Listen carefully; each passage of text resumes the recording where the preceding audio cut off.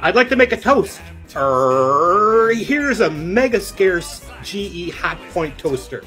It was designed by Raymond Patten, circa 1935.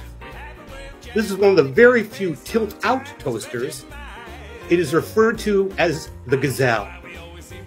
Patten was director of design at GE during the pre-war era and should be as famous as his counterpart, Norman Bel Geddes. Special thanks here to Instagrammer Jeff Reddington of 27 Junk, who owns no junk whatsoever.